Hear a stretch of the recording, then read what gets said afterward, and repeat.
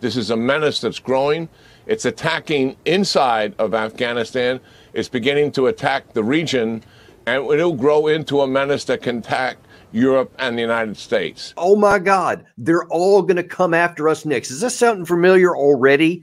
Because we're already seeing this issue in, in play it on the Russia Ukraine war, where if we don't stop Putin here, he's going to keep rolling and getting us. Keane here again uses that exact same commentary on ISIS, this tiny little branch of an Islamic violent group in Afghanistan that threatens the Taliban. Ironically, that's who's the, the biggest conflict over there is between the Taliban and ISIS. But he's saying, oh no, but then they'll get bigger and then they'll then they'll go to Europe and then they'll come to the United States.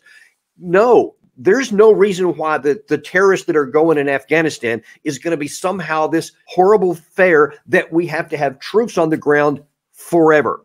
Understand that. We should keep our troops forever in Iraq, forever in Syria, forever in Africa that we have a number of places, in, in Somalia, for example, Niger, all these places. Anytime you ever say, hey, we should withdraw our troops from here, they jump and say no.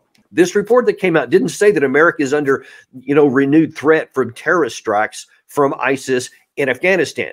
They just said that they're growing. And so he immediately leapt all this additional area to warn you, to make you think, oh my God, we really do have to, maybe we should send more troops back there. Or, of course, they'll use that to more likely to say, don't ever leave any of these other places. And folks, this is a huge dissipation of American power. When we keep having to have thousands upon thousands of American troops scattered throughout the world, especially throughout the Middle East, doing missions that have nothing to do with our national security, we dilute our own national security capacity. Because while those troops are there, they're not training on high intensity warfare with Russia or with China, for example, if that should ever be necessary. Instead, they're basically sitting in the desert doing nothing just waiting to see if a bomb's going to drop on them.